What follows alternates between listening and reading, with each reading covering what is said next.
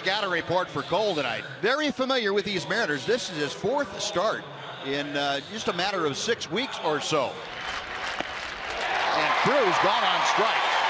Hamels went upstairs and Cruz undecided flailed at it with no success. Two outs. Got him swinging. That's some pitching right there. Got him swinging. Good cutter. Jose Quintana. He's going to be called out on strikes here as uh, Cole Hamels got the inside corner. Fourth strikeout for the Ranger left hand. Another 3-2. Got him swinging. Here's that cutter down and in. And Hamels has five strikeouts. He fell behind 3 and 0 and threw four straight strikes. The last strike was the toughest of all of them.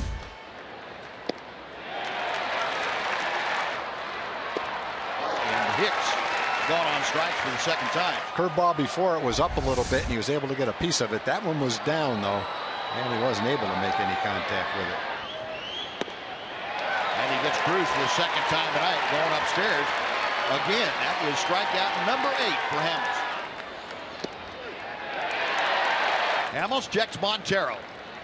Got him swinging. What a good assortment of pitches.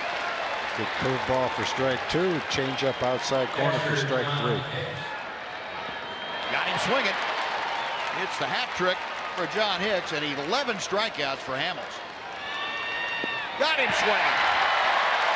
Took enough off of DeSeger was out in front and Hamels with 12 strikeouts